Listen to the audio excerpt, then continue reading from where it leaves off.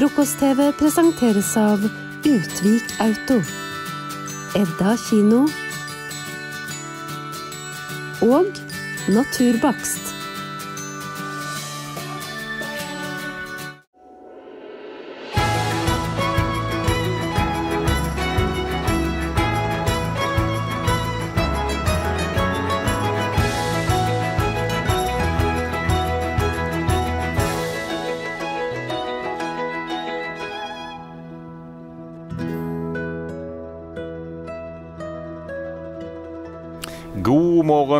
Velkommen til Frokost-TV, hvor vi har en rikholdig meny eh, klar for deg de eh, neste, ja, den neste halvannen timen, kan vi vel eh, si.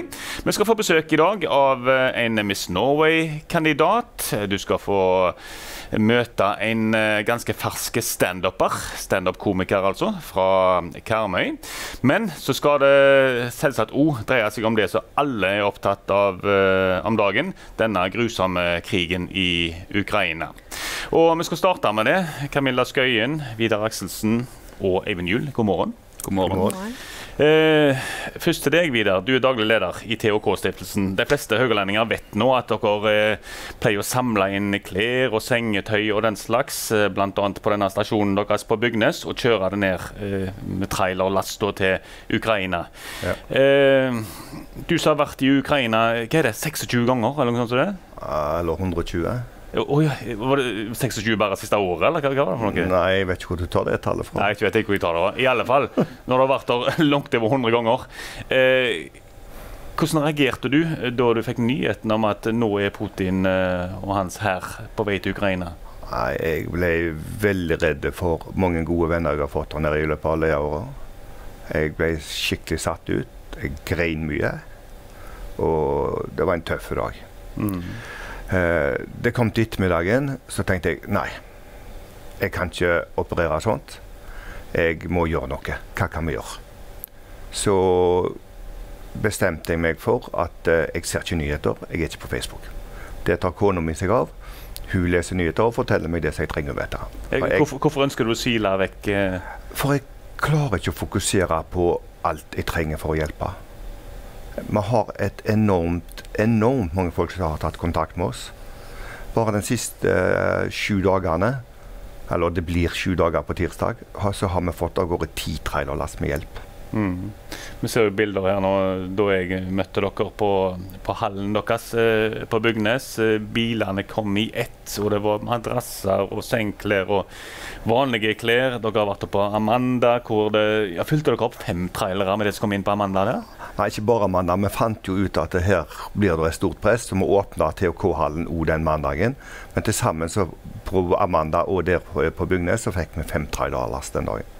Du hadde sikkert uh, forventa at det skulle bli økt pågang etter alle, alle nyhetene rundt nøden i Ukraina og, og krigen og sånt. Men hadde du forventa at det skulle bli en så voldsom eh, pågang? Nei.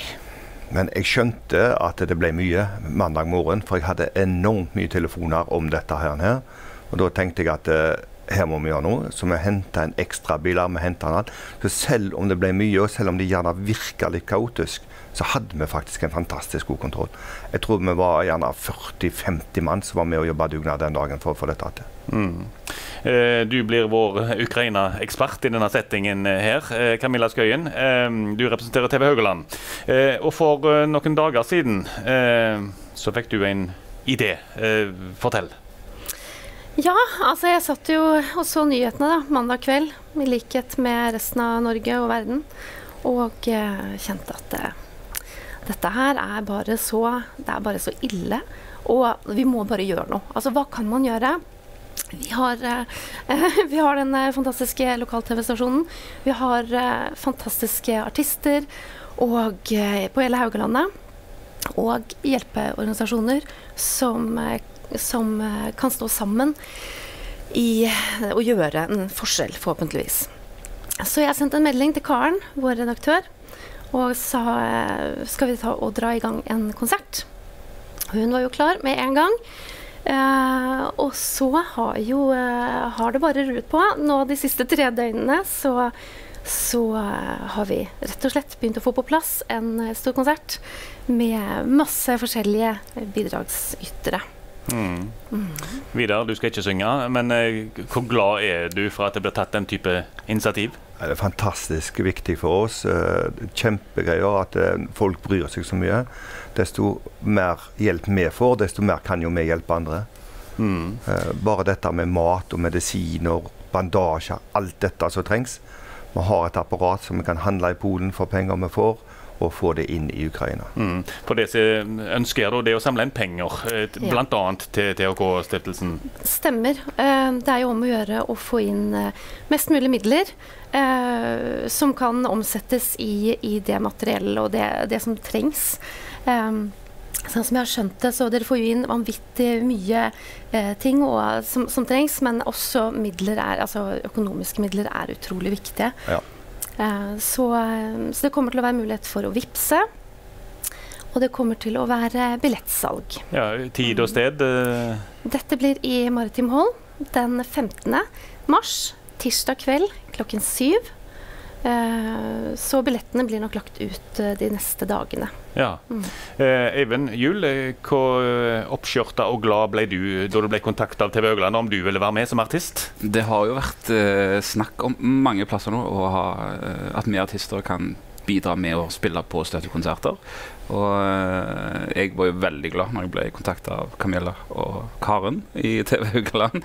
For, fordi at det å drive det i gang, det krever jo litt det krever jo litt å sette i gang noe sånt som dette. Så jeg er glad jeg slapp, men jeg kan bidra med det jeg liker å gjøre. Det er jo å stå på scenen og formidle budskap. Så, sånn personlig, eh, den personlige eh, Eivind Fiksdal, ikke Mm. artisten nødvendigvis. eh, Mhm. eh, hvor, mye, hvor innpå deg har det gått, det som du ser eh, på TV-nyhetene om dagen?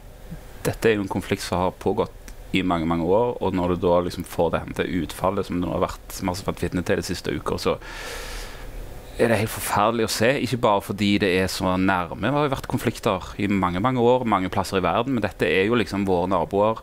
Vi ser unger som kunne vært mitt barnebarn, sitte med iPad i et tilfluktsrom. Vi får bilder av eh, samfunn som bryter sammen. Vi får eh, vanlige mennesker som kunne vært kollegaene mine, som kjemper en kamp om bare å få lov å være i sitt eget hjemland, og en maktsyk idiot i Russland som eh, rett og slett eh, det er helt umulig å forstå, som skaper frykt. Eh, ikke bare for meg, men for ungene mine, for folk rundt meg. Og jeg ser jo at folk eh, nå, når pandemien endelig var over, og vi skulle liksom få lov å feire våren og, og det livet som ligger liksom etter pandemi, så kommer dette dritet her.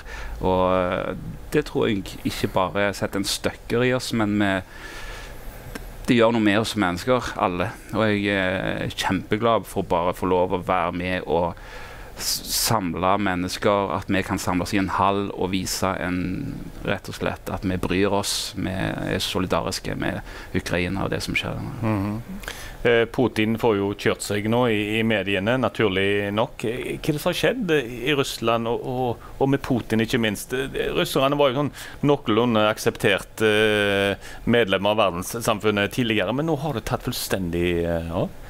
Ja, det har det. Hva som skjedde i hodet på Putin, hadde jeg kunnet svart deg på det, så hadde jeg vel vært en lært mann, men eh, Jeg vet ikke, men jeg syns han ser bitter ut, for jeg syns jeg har sett lenge. Og det er jo såpass at hvis svenskene hadde kommet inn til oss, altså i 2014 når dette starta, så var jo russerne, nei, ukrainerne sjokkerte at de ble angrepet fra den hold. Ja, for det er broderfolket. Ja visst er det broderfolket, og de har alltid blitt opplært at eh, fienden kommer fra vest, og plutselig så kommer han fra øst. Så de Nei, helt uvirkelig. Helt vanskelig å forstå. Eivind Juel, jeg er glad for å være med på konserten. Eh, Du er midt i bookingprosessen nå, eh, langt fra i mål. Men hvem har du fått eh, med så langt? Vi, vi har eh, en god gjeng eh, med veldig veldig spennende artister. Eh, av de som har sagt ja foreløpig, så er det bl.a. Helge Toft, Nils Økland, eh, vi har Munor, vi har eh, Rags and Feathers, eh, Kristina Bjordal er med. Eh, og en, eh, en hel haug med andre. Håper at Slomåkerne er med også. Så, eh, men vi venter en del avklaringer, da. Men jeg regner med at det blir en sånn mellom 10 og 15 artister. Mm. Og så er det jo veldig mange andre bidragsytere også. Mm. For å bryte av praten litt her, vi skal få et lite musikalsk innslag her nå. En låt som du har uh, lagd. Uh, ja, fortell hva vi skal få en smakebit av her nå. Det er en låt som uh, min tekstforfatter Kajana Arntzen skrev i 2017, faktisk. Hun uh, hadde en periode hun følte seg litt hva skal jeg si, tung til sinns, litt uh, deprimert. Og så utenfor uh, så skinte solstrålene i fjeset. De kom, det var vår, og, og, hun burde jo vært glad. Hun burde kjent på den gleden uh, av at våren endelig kommer, og at sommeren nærmer seg. Men hun klarte liksom ikke helt å glede seg over det, så hun skrev denne teksten. Og jeg syns jo kanskje i 2022 Eh, når våren blomstrer, jeg har hvitveis i hagen, det er vakkert ute, sola har begynt å skinne her på Haugalandet, så syns jeg det er forferdelig å ikke kunne kjenne på den sanne gleden jeg burde kjenne på fordi det er en krig som pågår i mm. nabolaget. Så jeg har lagt en liten snutt. Vi skal gi deg en liten smakebit da av låten 'Sår vår'. Mm.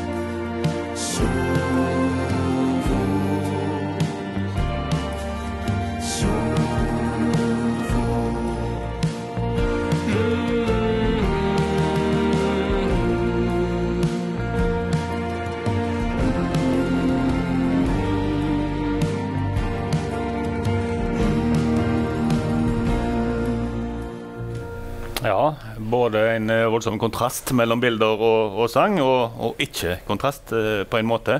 Eh, denne skal vel du framføre da på konserten, kanskje? Ja, Det er en, det en singel som slipper 11.3, og hadde tenkt å slippe uansett. Den har ligget klar med liksom pusha mot Spotify i to måneder.